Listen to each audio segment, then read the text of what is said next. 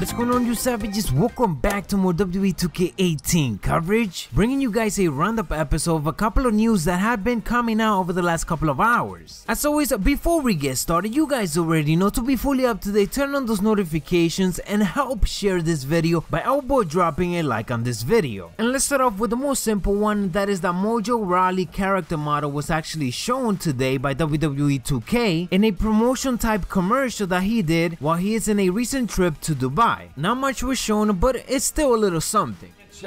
to the next level because the game is absolutely hyped. So pre-order the deluxe edition so you can get it four days early on October 13th. Mojo Rawley's in the game. Zack Ryder is in the game. The hype bros are in the game, so you better get it or else you ain't hyped.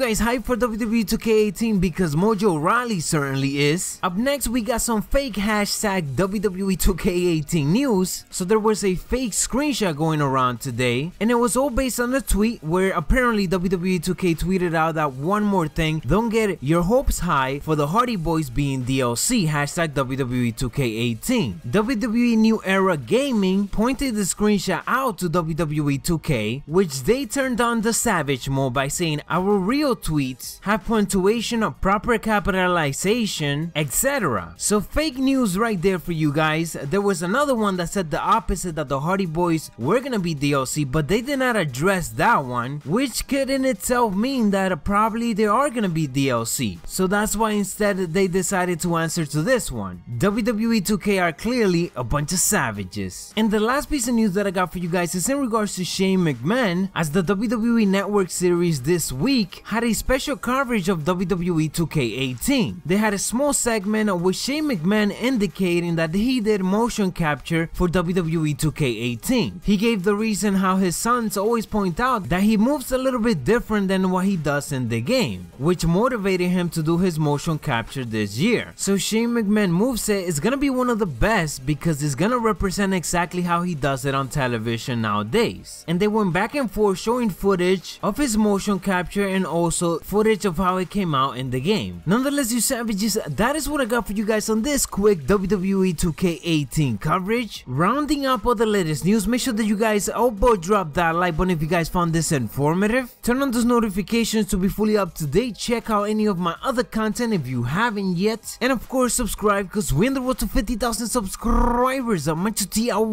dig it.